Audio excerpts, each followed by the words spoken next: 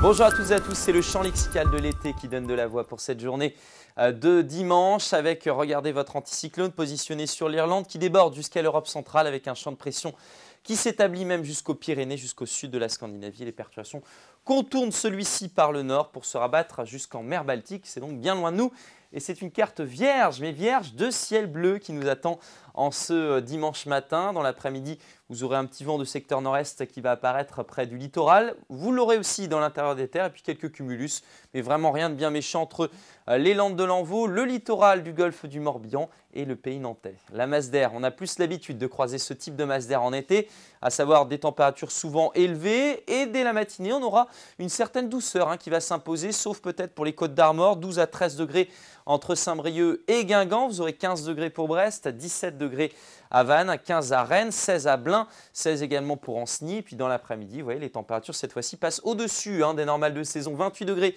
euh, pour Brest, 29 degrés du côté de Quimper, vous aurez 23 degrés à Saint-Brieuc, 29 degrés à Pleuhermel, 26 à Morlaix, 29 à Rennes et jusqu'à 30 degrés tout en bas pour le vignoble nantais. Découvrons votre tendance. Lundi, toujours du soleil avec des conditions très agréables. 25 degrés, pourrait s'agir de la première euh, donnée de chaleur de l'année du côté de Saint-Brieuc euh, pour cette journée. 31 degrés pour Nantes et votre tendance plus lointaine. Et eh bien regardez, le soleil s'affirme mardi, mercredi avec un petit voile de nuages un petit peu plus épais, c'est vrai, peut-être pour votre journée de mercredi. Je vous souhaite une très belle journée et on se retrouve dès demain.